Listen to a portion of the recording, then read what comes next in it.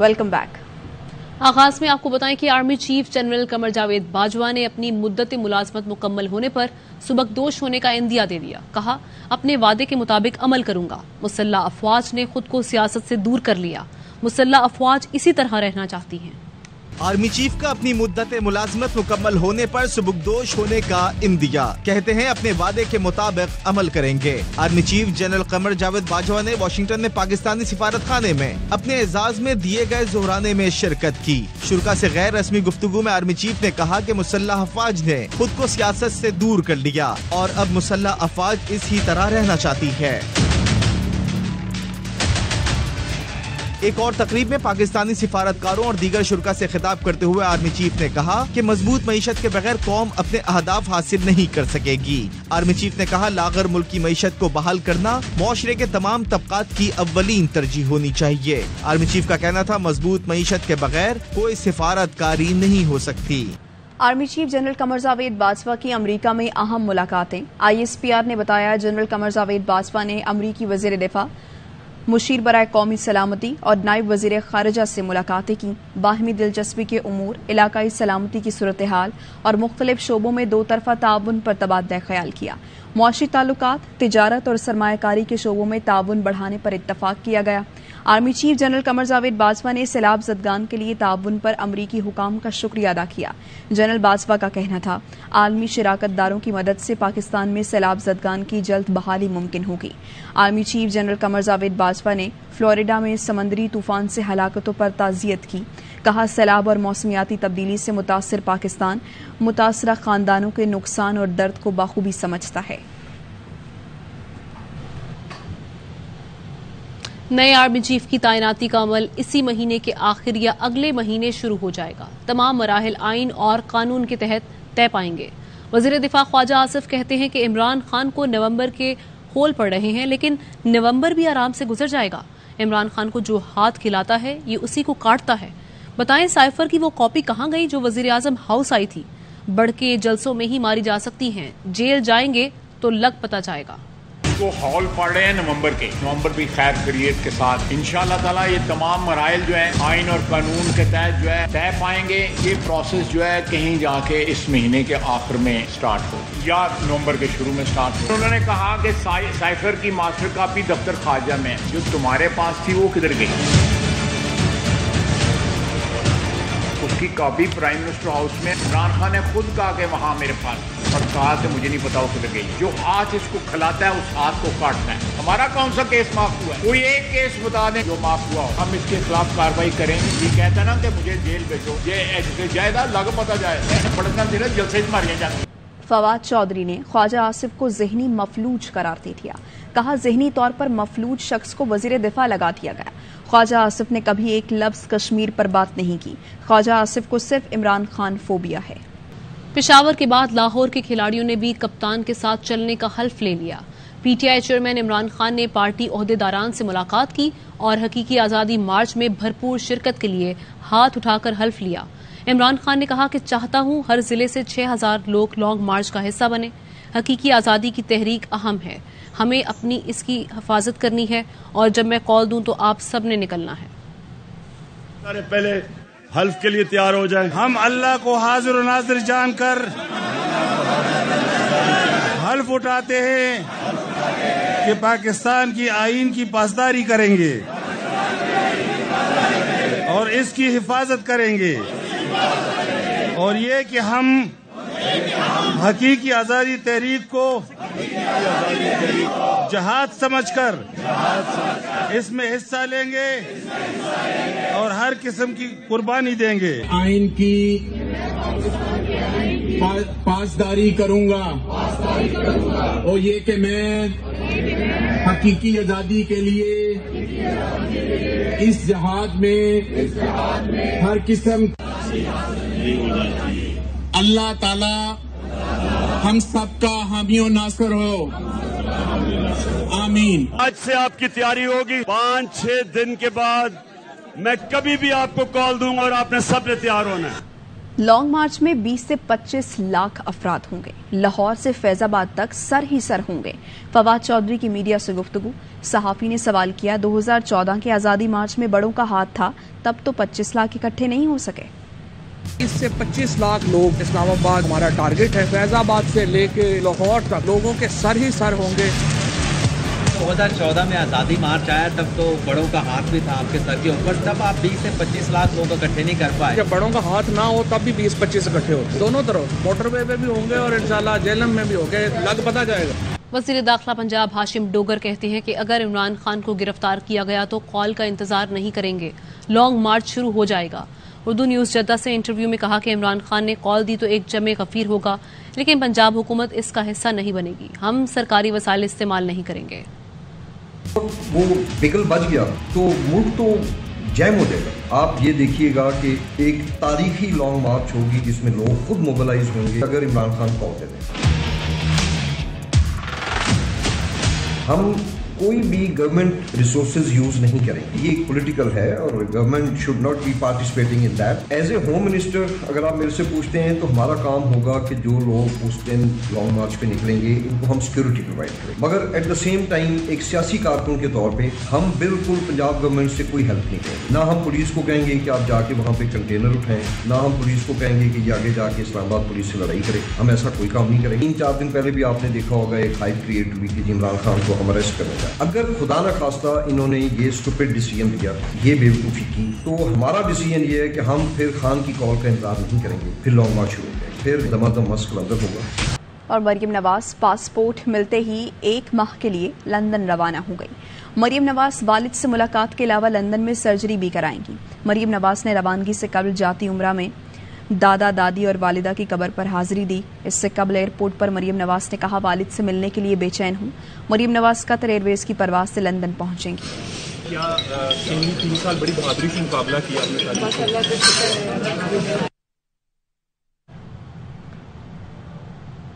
मुल्क में इस वक्त लूट मार को इज़्ज़त देने का सिलसिला चल रहा है। कल मरियम नवाज़ ने एक बार फिर औरत कार्ड इस्तेमाल किया। पीटीआई रहनुमा शहबाज गिल की यासमिन राशिद के हमरा प्रेस कॉन्फ्रेंस। कहा, मरियम साहिबा, हमारी सकाफत में औरतों के नाम पर लूटा भी नहीं जा सकता। आपके बच्चे, आपके वालिद भाई समेत पूरी फैमिली लंदन में है, लेकिन हुकूमत पाकिस्तान में करनी है। यासमिन राशिद ने कहा कि जब पैनमा लीक्स आई तो मरियम के वालिद वज़ीर आज़म थे। इमरान खान का तो इससे कुछ लेना देना नहीं।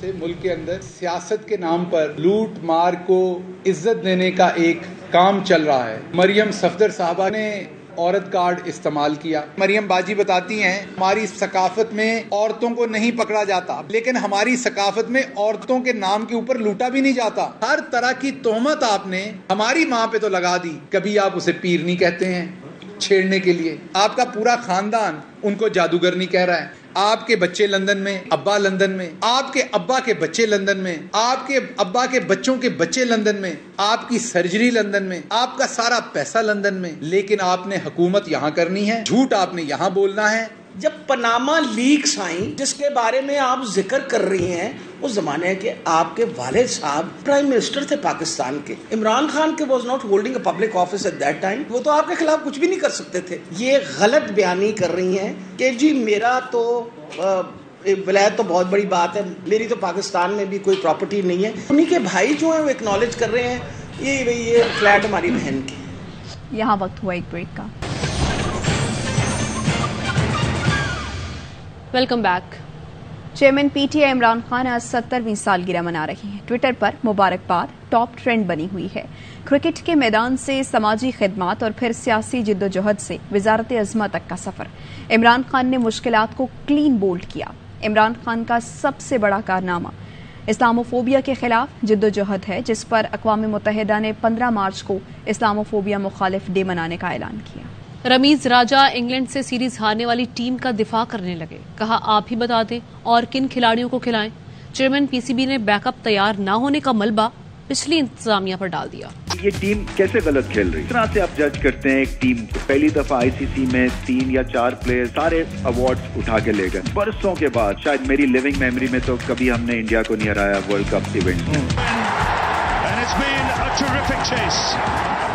हम एशिया कप का फाइनल खेलते हैं। तो इंडिया तो फाइनल भी नहीं खेला तो उनको तो फांसी लगा देनी चाहिए। यार आप मुझे बता दें किसको लेके जाए? हमारे पास बैकअप भी रेडी नहीं है। मुझे तो अभी बारह महीने हुए हैं। तो ये बैकअप तो ये पिछले दस सालों से तैयार होने चाहिए। ऑस्ट्रेलिया में हम अच्छा करेंगे। मुझे लगता है ये टीम में बहुत फ़र्क है। बिल्कुल करेंगे। टीम में सिलेक्शन सिफारिश और दोस्तियों पर हो रही है। सबक स्पिनर सईद अजमल की पीसीबी सिलेक्शन कमेटी पर कड़ी तनकीद। एआवाई न्यूज़ से गुफ्तगू में कहा टीम की कारकर्दगी में कोई तसलसल नहीं है। टीम एकदम ऊपर जाती है, एकदम बिल्कुल डाउन फ्रेंडशिप क्रिकेट में नहीं होनी चाहिए। परफॉर्मेंस बेस के ऊपर होनी चाहिए। टी ट्वेंटी अच्छा खेलता है, उसको टेस्ट करा देते हैं। जो टेस्ट अच्छा खेलता है, उसको टी ट्वेंटी में डाल देते हैं। ऐसे प्लेयर होने चाहिए जिसमें आप आँखें बंद करके बता सको कि आठ नौ ये खेल रहे हैं, एक आध चेंज होगा। इससे ज़्यादा चेंजिंग नहीं होनी चाहिए। न्यूजीलैंड में सह मुल्की टी ट्वेंटी सीरीज़ की तैयारियाँ। चमचमाती ट्रॉफी की रूनुमाई कर दी गई। कप्तानों ने फ़ोटो सेशन करवाया। क्राइस्ट चर्च में खून जमा देने वाली सर्दी भी कौमी खिलाड़ियों के लिए इम्तिहान। सीरीज़ का आगाज़ जुमे को पाक बांग्लादेश मैच से होगा। लाहौर में दौरान ड्यूटी पुलिस एहलकार को नशा करके गुल गपाड़ा करने का महँगा पड़ गया। एहलकार साजिद अली को तीन साथियों समेत गिरफ़्तार करके मुकदमा दर्ज कर लिया गया। पुलिस एहलकार साजिद अली और गुलाम रसूल पाक इंग्लैंड सीरीज़ के दौरान निजी होटल के करीब तैनात थे। इंचार्ज सिक्योरिटी ने चेकिंग की तो साजिद अली करीब ही वाकई कैबिन में तीन दोस्तों के साथ शराब नोशी कर रहा था। नशे की हालत में साजिद अली, फरहान, मोहम्मद अशफाक और कदीर गुलगपाड़ा कर रहे थे। चारों को हिरासत में लेकर दफ़ा 155 सी के तहत थाना रेस कोर्स में मुकदमा दर्ज कर लिया गया है। लाहौर में सेफ़ सिटी के कैमरास का सामान भी चोरी हो गया। गालिब मार्केट से सेफ़ सिटी कैमरों का लाखों का सामान चोर ले गए। उधर डिफेंस ए में बरतानिया से आए शहरी के घर का मुलाजमीन ने ही सफाया कर दिया। घरेलू मुलाजमीन सवा तीन करोड़ की मुल्की और गैर मुल्की करेंसी, जेवरात और दीगर सामान ले उड़े। लुटने वाले शहरी डॉक्टर फैसल ने बताया कि चोर दो हज़ार पाउंड भी ले गए हैं। पुलिस ने एक मुलजिम को गिरफ़्तार कर लिया है।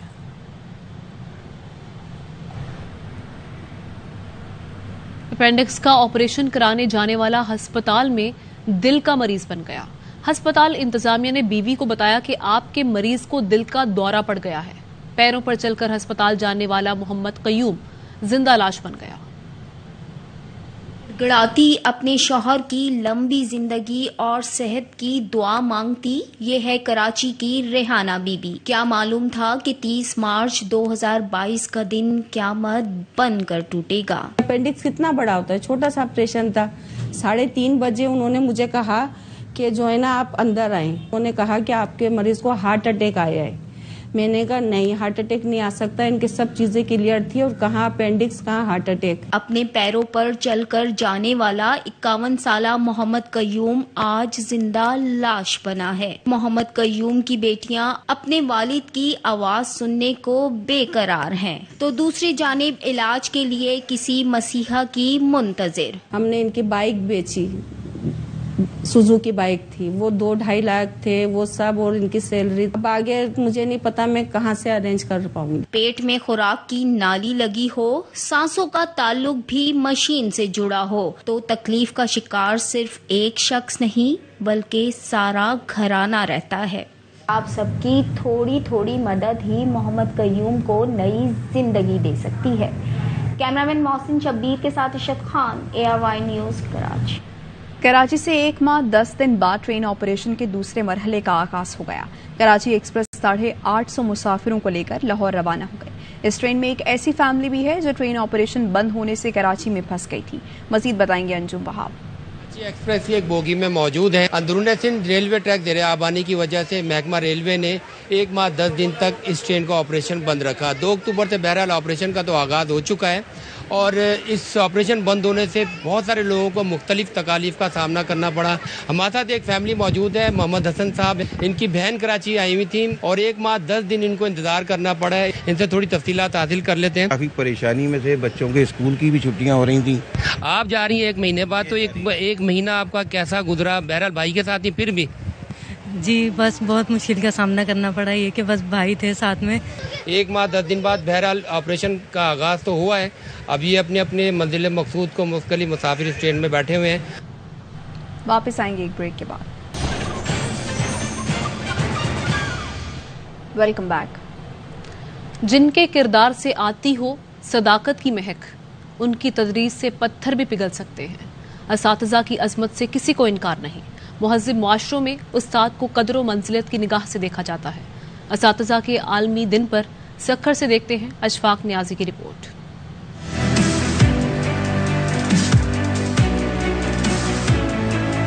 उस्ताद तालीम का धड़कता दिल होते हैं। आज का दिन मर्द खातन इस के इल्म के फरोग और नई नस्ल को माशरे का कारामद शहरी बनाते हुए माशरे की तमीर और तरक्की में उस्ताद के किरदार का एतराफ़ किया जाता है। आज टीचर्स डे और मैं अपने टीचर्स से और दुनिया के तमाम टीचर्स को सलाम पेश करना चाहती हूँ जो बच्चों को बड़ी मेहनत से पढ़ाते हैं। आज टीचर डे बनाई है टीचर को भूल दूँगी। ये वाले कार्ड बनाए और टीचर्स के लिए गिफ्ट्स लिए बहुत अच्छी हैं हार्ड वर्किंग टीचर्स हैं हमारा बहुत ख्याल रखती हैं। उस्ताद एक अच्छे तालीमी निज़ाम का बुनियादी अंसर हैं। इस दिन जहाँ इस को खराज तहसीन पेश किया जाता है वहीं पर उनको कलील तनख्वाह बगैर सहूलियात और बिना किसी मुनासिब तरबियत के पढ़ाने जैसे मसाइल का जायजा भी लिया जाता है। एक अच्छे टीचर्स की ज़िम्मेदारी ये होती है कि उसे चाहिए कि वो पंक्चुअल रहे और उसका पढ़ाने का वे अच्छा होना चाहिए ताकि बच्चे उसे रिस्पॉन्स करें। बच्चों से हमेशा प्यार से बात करनी चाहिए सख्त लेजा बिल्कुल नहीं रखना चाहिए। वही बच्चे हमें रिस्पॉन्स देते हैं। टीचर्स को जब स्कूल्स में फैसिलिटीज़ दी जाएँगी सैलरी अच्छी दी जाएगी तो वो टीचर भी यहाँ पर सही तरह से काम कर सकेंगे और बच्चों को भी अच्छे तरीके से पढ़ा सकेंगे। जब तक इस को माशरे में वो मकाम नहीं मिलता जिसके वो मुस्तक हैं वो अपने फ़राइज को बखूबी अंजाम नहीं दे सकते। इन मुश्किल हालात में भी बहुत से इस हालात को इल्ज़ाम देने के बजाय अपनी बिसात के मुताबिक इल्म की शमा रोशन किए हुए हैं। कैमरामैन मोहम्मद अली सोलंगी के साथ Ashfaq Niazi A R Y news Sukkur उधर सिंध हाई कोर्ट ने चेयरमैन पेमरा की मुस्तकिल हाजिरी से इस्तना की दरख्वास्त मुस्तरद कर दी। एआवाई को शोकॉज और चेयरमैन पेमरा के खिलाफ तोहन अदालत की दरख्वास्त पर समात के दौरान जस्टिस अदनान इकबाल चौधरी ने इस्तफसार किया कि क्या पता चल सका चैनल बंद क्यों हुआ था। अदालत ने रिमार्क्स दिए, आइंदा समात पर पहले तोहनी अदालत की दरख्वास्त का जायजा लिया जाएगा।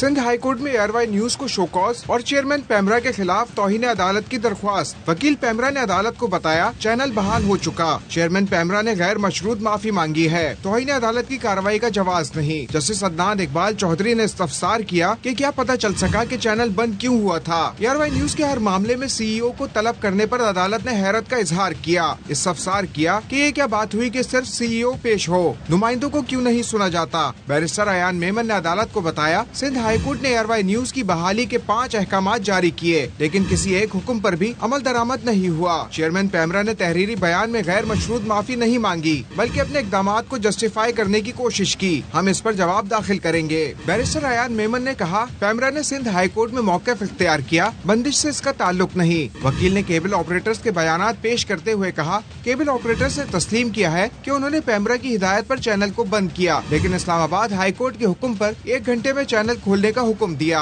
मामला एयरवाई की बहाली का नहीं, बल्कि सिंध हाई कोर्ट के अहकाम की तामील का है। वकील पैमरा ने कहा, चेयरमैन पैमरा को जाती तौर पर अदालत तलब करके क्या फ़ायदा होगा? एयरवाई न्यूज़ के वकील ने कहा एयरवाई न्यूज़ को आठ शोकॉस जारी हुए। हर नोटिस में सीईओ के पेश होने की शर्त होती है। अयान मेमन ने कहा, पैमरा तोहिन अदालत की दरख्वास्त वापस लेने के लिए दबाव डाल रहा है। किसी नुमाइंदे या वकील ऐसी मौकफ नहीं सुना जाता। अदालत ने फरीकैन का मौकफ सुनने के बाद समाज सात नवंबर तक के लिए मुलतवी कर दी।